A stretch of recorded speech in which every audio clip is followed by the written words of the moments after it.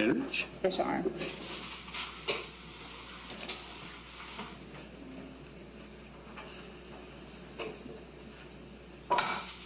Okay, I'm back with you. So what is this case about? What is this case not about? And how we prove the defendant's guilt beyond a reasonable doubt? I'm gonna start with this. Handcuffs.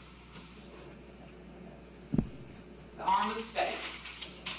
This is what was on Mr. Hollins when the defendant did what he did. Okay. He is in handcuffs. So let's talk about what the case is about, what it's not about, and how we prove the defendant's guilt beyond a reasonable doubt. Um, just to go through a couple things that Mr. Britt said during his closing. First, before we do that, um, I think he mentioned, well, maybe he didn't hear it. Again, he's asking you to look for doubt.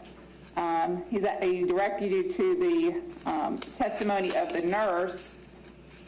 I mean, really, who cares? We've got the photographs and the testimony um, about what she said and how, how she viewed him. The statement, that doesn't matter between any difference between her and Mr. Hollins. She treated him, and that was the extent of her testimony. Um, And then you'll have the indictment um, that charged uh, Bongiovanni. Um, He asked you to read it, has Robert McDonald on it as well. Count one, aggravated assault, charged with Bongiovanni. Apparently, this is some type of grand conspiracy uh, for Mr. Hollins on behalf of the state. Um, He talked to you about the plea that was taken uh, by uh, Bongiovanni. I would direct you to page 32 of the transcript. He wanted you to take a look at it.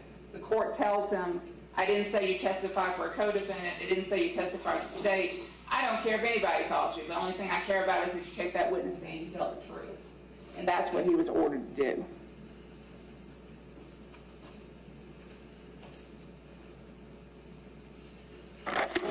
Also discussion about how he's eligible for first offender because he doesn't have a prior felony conviction, which is a matter of law.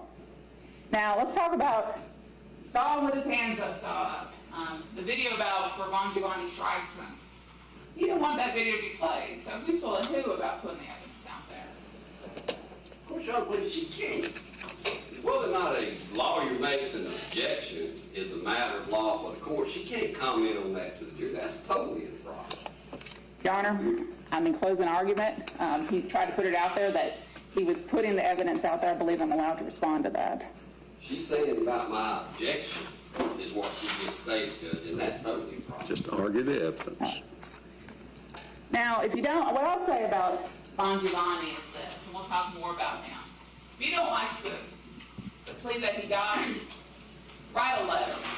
It doesn't negate what this man did, okay? It doesn't negate it. He is a person who put the gun to Mr. Hollins' head, okay? Don't let him skate because of Bongiovanni. I think which is the first thing I told you when we first started talking. Um, you can watch the videos in court. You can actually request to come in and watch them. Um, I won't play them for you during closing, but that's something that you can do. Um, I don't believe our experts testified, and we'll go through their testimony, that the street is a street. Um, also, in regards to um, the radio trafficking, you got the radio traffic and you've listened to it. Was it seconds between the step it up and a five and code four? You've heard it in court. And then Michelle Harrington talked about how the backup and the other provision on the CAD report was reversed. And then you heard Officer Todd. The backup request is put out. That's why McDonald was headed over there. It's mischaracterizing that he was going over there at that moment with Todd to a 29. That's not the testimony.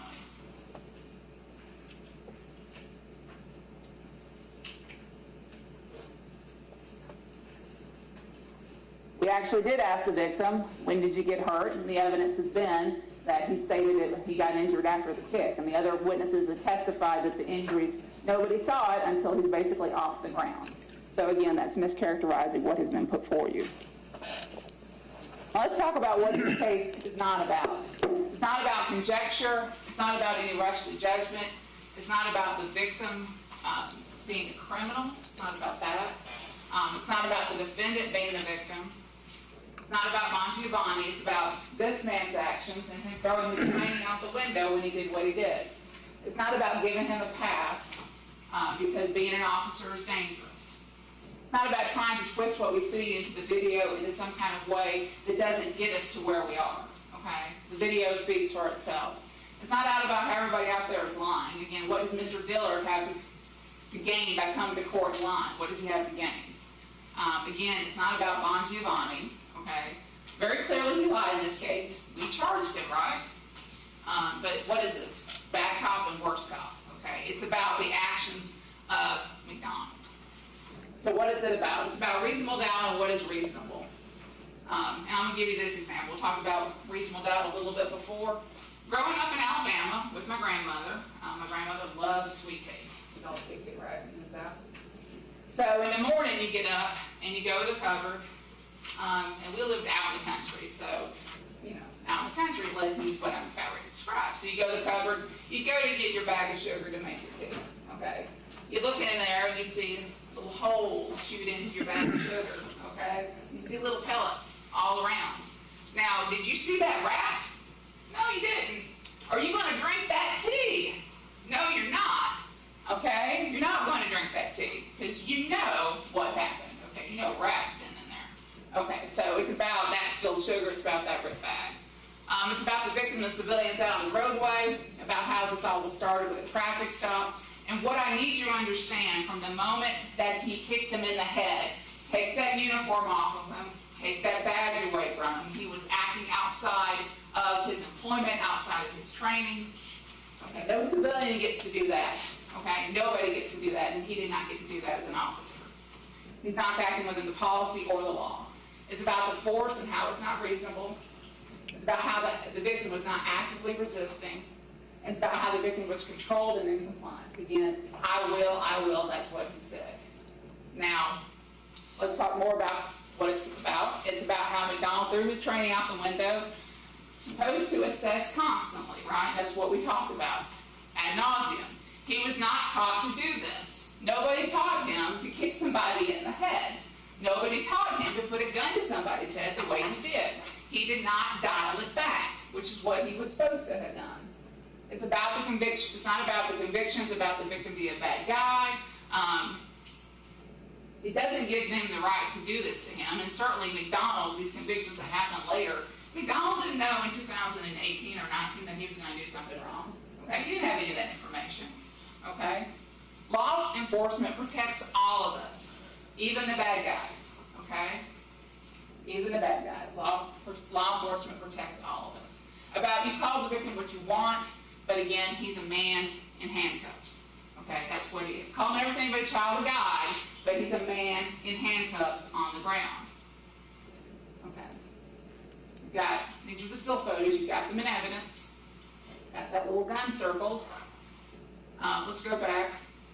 Look at how uh, Mr. Hollins' legs are splayed out. Look at what Bongiovanni is doing. Hollins' legs don't move at all. He's merely looking back at him. You get to kick somebody in the head because they look back at you? That's reasonable? Running up with a gun? Multiple occasions to check it, to stop it, to assess what's going on. He didn't, didn't do any of that. He's grabbing the car door to make sure he gets a good stomp. Okay? Again, we got Mr. Hollins, and then we just had him hit in the face. And again, we got Bongiovanni standing up. He's not leaning over winded. He's not gasping for breath. He's not doing any of that. And where has there been a fight in any of this? Where's the fight? Where's what? There is no fight club? That's what the movie was. There is no fight. There was no fight at this moment. We've got the handcuffs circled. Everybody out there saw it except him. And again, we got Mr. Hollins's body going down, kick to the head, and then we got the gun coming down, and again the gun pressed to his head. And that's been the testimony. We got Bongiovanni holding him down, um, participating, and then we got the gun holstered. So the case comes down to the victim was controlled and compliant. There's no evidence he's acting the fool, none of that. Um, there's no active resistance. His legs don't move, move at all. I think I said that before. They're splayed out. It comes down to that video. It comes down to his training. Spent a lot of time talking about his training. The only question, his name is Mr. Booker. He's still back there. He's not Mr. Brooks. It's Mr. Booker. Mr. Booker don't have law enforcement training. Okay, he's a seven-year-old man. He died because he was scared. Okay, but he doesn't have McDonald's training. Officers are trained to go into the firefight. Okay. Um, that video, McDonald's training. Call the victim whatever you want him to sign, including calling him a child of God. Okay, but let's call him what he was a man in handcuffs on the ground.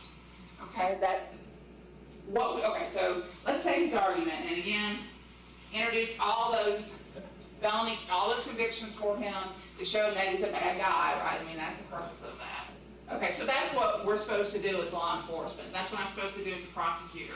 You know, I run criminal histories on all my victims, and I say, good people over here, bad people over there. Bad people, I'm not going to care about you. Okay, because you're a bad person. No. No. That's not what law enforcement's supposed to do. That's not what is supposed to happen. Even if he was Sirhan Sirhan, Timmy McVeigh, after he blew up the Oklahoma City bombing, after that, if he's on the ground in handcuffs, you don't get to get your lick in. You don't. Okay? Stepping outside the bounds of your training what's right. Um, now, let's talk about Mr. Holmes. He's been in trouble, and you saw him on the stand. You can assess his credibility and, and who he is, essentially. You think if I had a busload of nuns to call as a witness in this case, I wouldn't have done that? It's not outside the realm of possibility that guess what? Police encounter people who've been in trouble with the law. It doesn't mean you get to kick them in the head. It doesn't mean you get to put a gun to their head. You have to check it. You have to assess. The video of the incident, talked about that. How we get there, and I'll simply say, we don't get there out of the blue. We had stopped, the keys handed over. Um, Dillard starts with the video because he thought, he didn't think anything was going to happen, but then it did. Sees the officer in the car with Hollins. He then comes up with his hands up. Um, he gets the blow from Bongiovanni. He's tasered, he goes down, he's down in the stomach. And then we get um, Mr. Booker's testimony about the confrontation with the driver. Not really sure what's going on. Saw some tussling, saw that. And then he saw the tasering, and then he saw Mr. Hollins go to the ground. And then we get Ms. Koenig and Mr. Hampton, citizen complaints, okay? What they saw was not cool. They called about excessive force, and that's what they called. The victim was not resisting, is what they said. They were both horrified. Ms. Koenig said she was horrified about what she saw. Her brother's a cop, okay? She didn't like what she saw, so she called 911. She called the police on the police. She saw the strike, okay? I appreciate that Mr. Brett felt sympathy for the strike from Mr. Bongiovanni, but his client is equally guilty for what he did to Mr. Hollins, okay? And her impression was that the strike had happened on the side of his face. And Mr. Dillard, he's that truck driver, he's making deliveries, he's handcuffed, he's, his face is down when he's there. When McDonald gets there, Hollins is on his stomach. Mr. Dillard described him as being controlled, sees the officer hit his radio, standing right on top of him when he hits it. Dillard looks to the right, sees another patrol car coming down. The officer pulls over to the right, sees the officer jogging and running across traffic. He comes with his weapon drawn, ready for action. This is all he testified to. Comes from behind the first officer's cruiser, between the cruiser and the car and right, came in front of the car in front of him. Hollins looks up, the officer then stomps his face. There's no conversation between either of the officers. And we get the aforementioned, oh shit. Okay? Let you know this wasn't reasonable. That's Mr. Dillard's reaction to this. Okay? That's what he's seeing. That's what he's saying. Then we see the second officer put the knee on the neck. Again, he said in court, don't fucking move, blow your head off, and that's what he told you. He said that the second officer was looking to inflict. Okay? And then he said the knee was on the neck. He sees the gun to the head of Mr. Hollins. He starts feeling because, again, it looks like something's going down. He saw the blood when he goes around the trunk. Mr. Hop falls. His face had bounced off the pavement. Again, told you that he had seen the, the hit on the cheek, but not in the nose. Again, he's told you that the statements had stuck in his mind after the law enforcement interview. Um, he remembered them. He didn't mention it during the interview, but he does remember the statements. Um, kick, stomp, step in the face was all the same thing to him. And again, he didn't see the blood until the other officer. He didn't see the leg sweep. Uh, he felt sorry for Mr. Holmes. We got Mr. Booker picking up his wife at the Walmart. Um, he's in that blue LaCrosse. You see the officer put the handcuffs on. He couldn't see the driver's face. Again, the young man is lying on the street with handcuffs. He sees this too, okay? Everybody sees that Mr. Holmes is in handcuffs except this man. Convenient. Could see the line that goes to the prongs. Out of his peripheral vision, saw another police car, the second officer that ran in front of his car, and then ran between the first car and the police car and saw a pistol in the hand. Now I'm going back through the evidence because I got to do my job. Okay, I got to make sure you understand the evidence. Okay, so that's what we're going to do. We're going to go back through the evidence. It's been a couple days since you heard these witnesses testify. There was a few feet between the first officer. First officer's on the radio. The man on the ground turned to look. No conversation between them. The second officer then slows down. as He's about to step on his right leg. He ran up to the young man who's looking back. The second officer slowed down. The second officer's feet were not tangled. Um, he said he slowed down and quit running as fast. The second officer then stomped his head. The officer then went down on one knee on back of him, and the gun went down with him, and then both stood up. After the young man was lifted, Booker saw the blood on his face. Hadn't seen it before. He could see the wires coming from the taser. And a Comstock. Again, she's driving that Acura. After she's approaching the lot at Lawrenceville Suwanee, she's sitting at the far right-hand lane. She sees a cop car in the far right-hand lane the lights approaching. She could see it was not going smoothly. She pulls up, the light's turning yellow. She looks over there, and she had a vision of what was going on because of the way she pulled her car up. The officer had the gentleman on the ground handcuffed. Again, she sees this. Again, he doesn't, or he says he doesn't. Again, convenient. He was just lying there. He was on his stomach, could see from his torso and up. His face was on the pavement. Saw the first officer speaking on the radio, and that's what she said. The light turned red. Then, again, the other officer was running down. The officer slams his foot into the, not, not placing it, put somebody down, um, slammed the foot into the victim's face, and then took the knee up to the chest and slammed it into the side of the victim's face. That's what she testified up to. Caused the victim to move. The kick had not been done in his stride, meaning he runs up and then deliberately does that. Okay, so we're clear on that. Um, second officer kneels, again, set the gun barrel to the side temple of his face. She heard the officer say, don't move or shoot. The children in the car are terrified. Man on the ground hadn't done anything, hadn't tried to hit or kick. Didn't look like he was trying to get up either. There was no conversation between anybody. Uh, the back passenger window was down. Light changes, she drives off. She sees a video, gets in touch with law enforcement. She again could hear what was going on. Now, Mr. Hollins, again, not a choir board, okay? Um, he admitted things on the stand. McDonald had no idea who he was, okay, or that he would get cases two years down the road for when he ran up and kicked him in the head. Just got off work, stops at the red light, again, go through the traffic stop. Hollins was using his phone. He tried to take he tried to take video of Giovanni because he wanted proof, essentially, is what he said. Um, sitting in the car when the taser gets drawn, Hollins is trying to keep his hands inside, and then comes up and gets punched in the face. Gets taser, rolls on the ground. Again, you saw that, screaming, I will. Puts his hand behind his back. The second officer, McDonald, comes up to the right side of him. Again, kicks him in the head. While this is happening, the first officer is behind him. He had his head turned around to look. Thought the second officer was going to help him. That's the sad thing about this. He actually thought that McDonald was there to help him. Heroes have arrived, right? No, he gets kicked in the head for his trouble. Officer dropped down, puts his knee on the back of his upper back, puts a gun to his temple, felt the barrel to his head. Then the second officer, according him, said, going to shoot, splatter brains on the street. There's no conversation between anybody, again.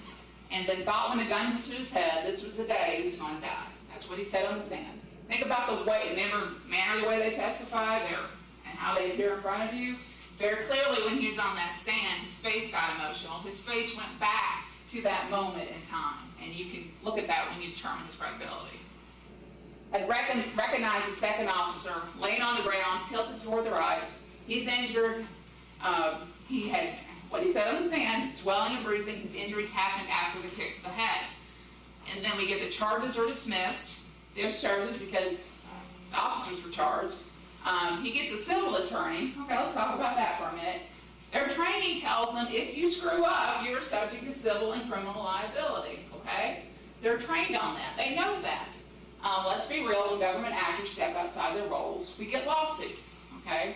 We went to the videotape um, because hadn't videotape, videotaped it the first time he encountered them. He wanted to be believed, and without a video, he was worried that he would not be believed.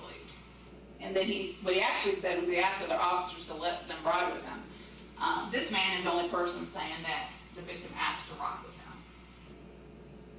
Z Todd, again now Snellville, he's working over there at that burglary. He said a burglary call with McDonald. He, Bongiovanni, and this is a radio traffic, um, he had requested additional units, which he indicated with, with his shoulder unit, that's what Todd said, he could hear it, conducting a traffic stop. Todd then tells McDonald to head on. It's not because of the 29 at that moment. It's because a crest backup on a traffic stop, and that's what the traffic radio says. Um, shortly thereafter, Bongiovanni puts out that he's in a fight. Todd heads over. He, head, he hears the code 4 himself. When he gets there, the subject's already cuffed, standing up. He's injured. No apparent distress on Bongiovanni's part. No torn uniform, um, no ripped uniform, no apparent distress. And then Mr. Hollins asked him if he could ride with him. That struck him as odd. Townley, again, working a second job, heads down there too, hears um, that there's an altercation on the radio, drives down there, sees Mr. Hollins with blood on his face. Neither officer gave any details about what happened. The guy in cuffs is quiet and calm. He's not combative. He's not kicking up sand at this moment. He's quiet and calm. Uh, everybody else is quiet and calm. Suspect asked to ride with him. He said no. Again, told you about the CRT and how they work, how they generally would be in the same. Bon and Donald both CRT, and how they would work in the same area. Former officer Michael Bongiovanni, indicted, led. Not what this case is about, okay? It's about this man's actions and what he did. He talked about doing the traffic stop, um, about Hollins asking for his mom. How dangerous is Mr. Hollins if he's asking for his mommy? Okay?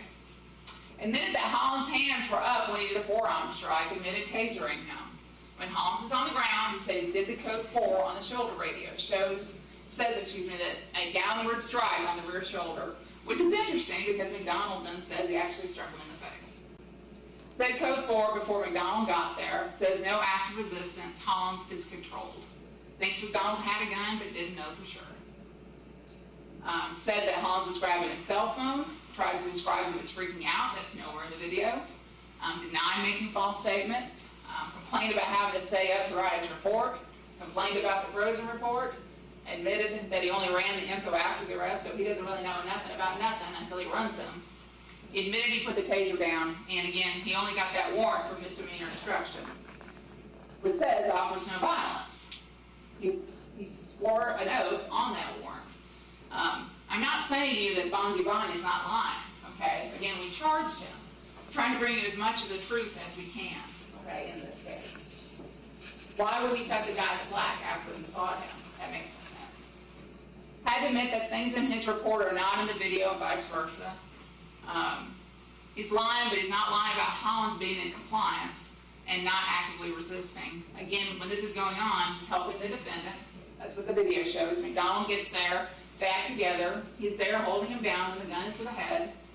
Bongiovanni took a no plea, and that's what he said, not contesting that assault because it was the best thing for his family. Okay, that's guilty knowledge. No, they're acting together. Bongiovanni has no oh shit moment, okay? We know they're acting together. You know, Bongiovanni doesn't go, oh, there's none of that. You know, there's no stop. There's no stop. Please stop. There's none of that, okay? Both are cool with what they're doing is what I'm trying to say. We get the CAD reports and the radio traffic. Radio traffic is in real time. Okay, again, 14 rounds, 14 seconds into it, we get um, that there's a car with no tag. Then we get 216 around that time. Need units to start to 270 Sugarloaf. 225, step it up, step it up. I'm at a 29. 228, dispatch any additional units. And 237, unit 270 puts out a code 4, everything's okay. Dispatch says slow all response. Three minutes into it, roughly, unit 270, code 4 actually got enough officers with me. That's the second code 4. Takeaways. Where is this windedness okay? He can talk, right? He can say code four. Uh, he's not winded, he's able to talk. And when does the conversation about being winded actually take place? There's really been no clear answer on that. Um, when did they get together and figure that was going to be the story? McDonald never puts himself on scene. Okay, 29 is not all hands on deck, that's a 63. There are two ways to show presence. Um, and if you look at the CAD report, you actually see an asterisk next to Bongiovanni's um, unit number. We get two radios, again, the one in the car and one in the shoulder. And then she talked about when the 10-3 was actually put in about resuming radio traffic. Um, Bongiovanni and McDonald are already there. There's essentially 13 seconds between the fight call getting put out and the first code 4. That's important because of what McDonald testified to, right? It took about a minute, a little bit of a minute for him to get over there. 13 seconds. No way he didn't hear that. Investigation. We got Nurse Tammy, nurse at the jail. Um, I put Nurse Tammy because everyone said about you, but I just did. We see Mr. Hollins, saw the tear on the inner lip, saw the bleeding. Um, and then there's no record of physical health or mental health assessment of Hollins. She also testified to seeing swelling. We got James Price, um, who talks to both of them afterwards. Again, Bongiovanni said the guy kept trying to get back in the car, mentioned the guy had a phone. Again, there's that one in his mom conversation. Then he sees McDonald and says everything is cool. Said, looked him up in jail crack, same guy arrested previously. Had told Bongiovanni about the prior arrest. Told him after he found out. Had not recognized him at scene. Mentioned nothing about kicking, stomping, or striking the guy in the head. Sandra Pryor, she, she contacts Bongiovanni. He calls her a couple hours later. Um, says McDonald, accidentally kicked Perp in the head when he ran up. Um, and asked about whether or not to put in the use of force report. She asks, how do you accidentally kick somebody in the head? Okay, I'm going to ask you the same question. How do you accidentally kick somebody in the head? Tells him there's a video. McDonald comes into the precinct. She asks what's happened. He said he had a gun in his hand. Didn't know what was going on. Looked like the victim was getting up. She asked him why did he have the gun out. He said again he didn't know what was going on. Doesn't mention anything about the gun or that he kicked the gun. Pryor tells him to then take a look at the big picture. Tells him about the not needing to get tunnel vision, not overreacting, and that's what she said. She tells both of them to write down what happened. And then what I want you to remember is when I asked Pryor about putting the gun to his head, she said, ooh, does you know how bad that? Okay, Scarborough, Ford, Blackburn. Investigators now in the DA's office. That video is not altered, okay? That's actually what it was. He slowed down the video so we could get the details. Um, and then Blackburn did a map of where everybody was, so he tried to paint for you the picture about what was going on. Then Assistant Chief Jones, he froze that report because there were concerns about it and didn't want any alterations or changes to it. Larry Williams, he's the investigator. Again, he testified violation of state law, violates the policy and the oath. He went through the policy and said the discrepancies between lawful force and what happened here. He walked through his investigation. He noted he did note the inconsistencies in Bongiovanni's report. Um, in court, he noted McDonald grabbing the door, okay, as he's kicking, and then he noted McDonald's statement in his use of force report in court. He talked about seeing bruising in Holmes' lip and swelling. He talked about Bongiovanni and looking up the reports from 2016. Told you that he took out warrants, but he left the ultimate decision, not uncommon, to leave it to the DA's office, which is what we did. Okay, training, let's talk about that. Cordino Barnelli. What's with everybody having a hard name in this saying. Okay, so we got his training materials entered here. Um, I wanted to make sure you had a clear picture. Man was trained. What did he say? He went to Gwinnett County because of the training, right? He's a good student, right? I don't think there's any evidence he was sitting in the back of class playing pinochle while this was going on. He had just had use of force training in February 2017, two months before. Two months before this man was instructed about use of force being reasonable. Two months. Barnelli actually taught him DT. Training includes in class and scenario-based drills. McDonald had gone through his FTO training, meaning he had been trained to train other officers. So set aside any idea of him being a rookie. He said he had over 100 arrests. Uh, force should be necessary and reasonable to gain control and compliance. Top that force is used when there is active resistance. Cordino talked about low-risk traffic stop, not usually with your gun out, practical considerations. Again, you need, kind of need a free hand if you need to do something.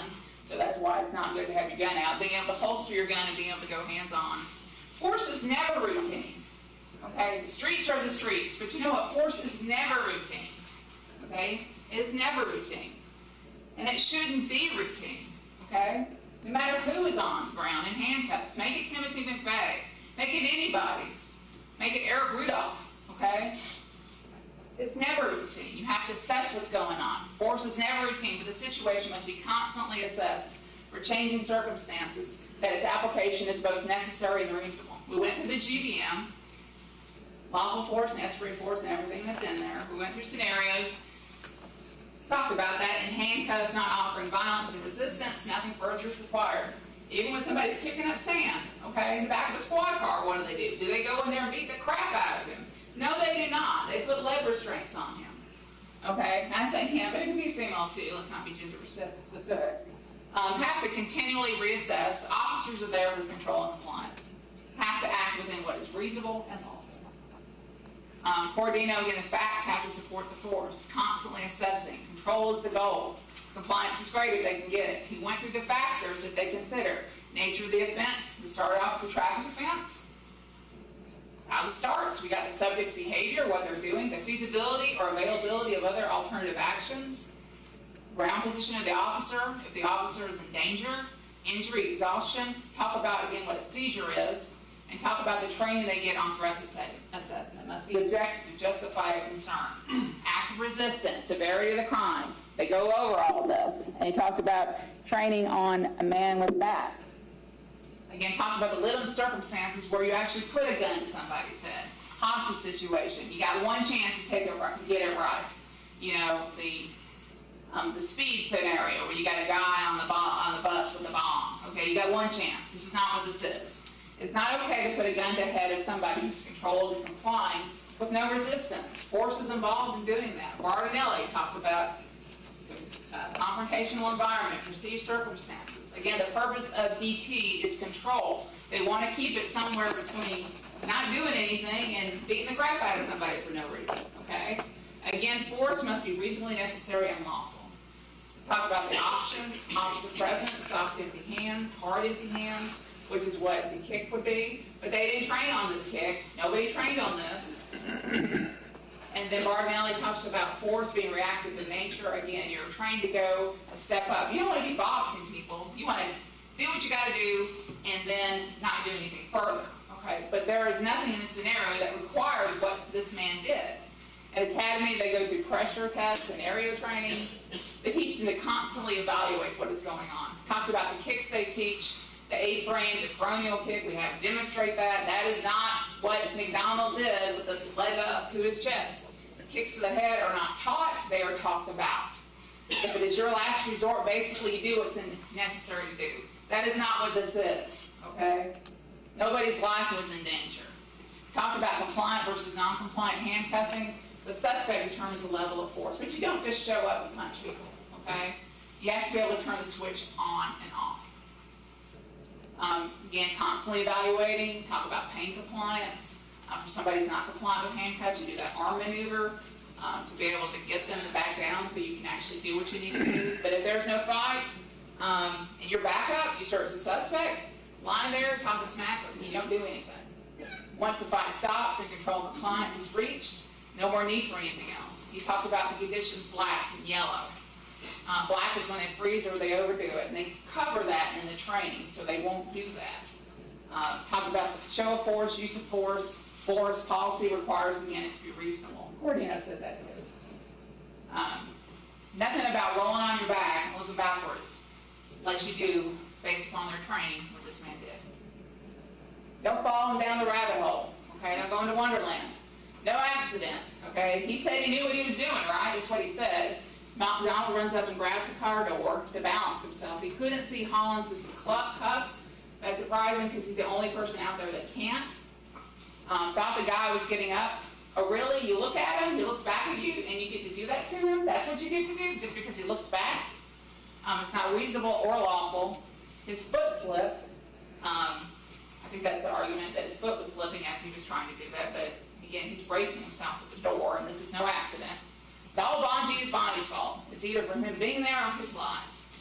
Again, this case is about McDonald. You don't get to come to go to court and go, wham, okay? It's about the actions of this man. Um, all officers said on the stand they were required to take an oath required by law. You can't be police without it. And policing is dangerous. Well done. Okay? I'm not saying it's not dangerous. What I am saying is you have to assess the situation and act what is reasonable and lawful. Why? Why would this be an accident? Hold the door to get a really good kick in. He's bracing himself. His body bounces off the ground. Why is the gun to his head at all? No matter how long it's there, it should not have been there for a second or at all. This is not a hostage or SWAT situation. Why does he get to put a gun to somebody's head? Because he had said he had two prior experiences. So everybody gets a gun put to their head? Uh, why is it everyone else out there that sees that Hollins is in cuffs, but he didn't? Why is he doing anything when there's no active resistance? No problems with control and compliance. He didn't stop to check. Why is this an aggravated assault? Because the victim said, I thought I was going to die with a gun pressed to his head. Um, and the other witnesses described that. Why is he putting what he's putting in his use of force report? Why are they both covering up? Let's be clear. Again, Bongiovanni's full of it. Sees the world as he wants to. Uh, again, we indicted him for that. What is diversionary about what he did? Diversionary, you throw a flash bomb to divert somebody. Here, allegedly, he did what he did to make sure the man wouldn't get up. He's not diverting anything. Um, he had watched the video and tried to write the report to conform to the video. Why does he describe it as an attempt to push down and a strike? Why is Hollins so dangerous that Bongiovanni put down the taser? Why is Bongiovanni described as winded by McDonald? Again, you can hear him putting out the code 4. Verbal responses, you can hear him. What does a person look like when they're winded? You know, the end of the Peachtree Road race when you're like, oh, give me a minute, when you can't talk. You know what I mean? He's not winded. He doesn't look like that. And there's the use of force report, and you'll have that in evidence. Okay? Direct your attention to the yellow, which is the bottom part of it. And then the diversionary tactics. He says he's not handcuffed. That's what he said. Um, take away from the report. He never learned. He never took the time to learn the situation. He admits that Bongiovanni is close to Hollins in his report. He sees Bongiovanni, sees the taser, sees the taser probe, doesn't see the cuffs, even though everybody else did. Even Booker who had his vision blocked. Why are you seeing everything but that? Again, why the heck are you saying winded? That he's winded. Uh, push, down, or strike. He said he missed the shoulder area. Nothing about his actions appeared that he missed anything. Okay? Uh, again, couldn't see cuffs because of his bulky clothing, how he's positioned. Remember Diller talking about there's the cuffs. You can point them out. You can see the cuffs there. They're right there. Uh, what bulky clothing? He wasn't wearing a parka. Okay, there's no evidence of that. Um, no mention of putting the gun to his head. Again, diversionary tactics. There's no, this is not what this is. Okay. Um, the guy isn't handcuffed. What he put in his report said it was without cuffs. Again, he was trying to match the video to the report. Is everybody lying about everything? Okay, everybody's lying. Okay. What motivation does anybody have to lie in this case? Um, let's go through what he said on the stand. Let that slide speak for itself just for a moment. Um, clearly prepared for direct. Cross, I got a little. Um, he got fired. He didn't pause. He said there was no conversation between anybody. He didn't feel that was necessary. I was going to run up, use my foot to put his shoulder on the ground and hit him on the side of the cheek. I don't know why I put my hand on the car door. You have a reason for other physical actions, but not for that. Foot flat, no slipping of the foot. This is not a my cousin Vinny situation with the differential between the tire wheels. Um, his foot is flat on the on the ground when he does it, trying to equate rolling up as to looking like resistance. I guess everybody who looked at McDonald got a stomp and a kick to the head. May have touched the back of his head with a gun. May have touched it, may not. Said, don't move, stop moving when the gun was in his direction. Again, take the uniform off of him from that kick forward. He's not acting as police. Notice his injuries after off the ground, then view the video crying to do in his report. Says didn't know others were in the car, but then says he knew others were in the car, trying to rely on his perception, but didn't stop to reassess to check his perception. Uh, when I, in my former life, I was a Fulton County district attorney, not the district attorney, I an ADA there. And the case of Kathryn Johnston came in. That was when the narcotics officer busted down the door thinking they were getting in a trap house. And they shot and killed a 92-year-old woman. You think you that's a dangerous situation. You got there balls to the wall with everything going in that house, but you get in there, you got to reassess what's happening. The fact that you got a 92-year-old woman in there, you didn't to reassess it either. Trying to say it's okay to do a press contact in a stop motor situation because of close contact conditions. That makes no sense. This is not a hostage situation. This is not SWAT. This is not a one shot and somebody gonna get killed kind of situation. You knew the guy was in cuffs. He assumed the taser didn't work. There's a lot of assumptions going on. He acknowledged that there were like five other things he could have done besides the foot moment. His hands, his knee, his OC, OC spray, but he had left that um, in his car or took it off. His taser, his baton. But wait, you can't hit anybody in the head with that. That's bad. Um, you couldn't hold, he could have holstered his weapon.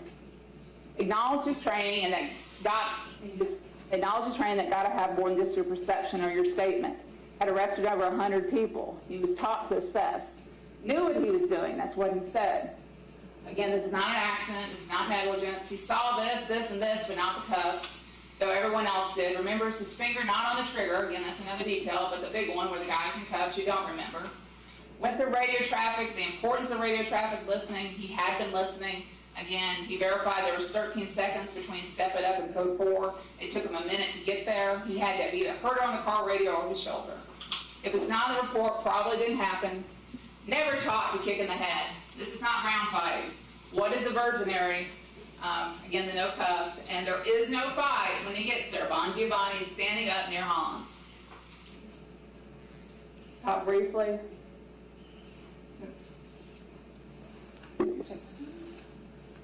Okay,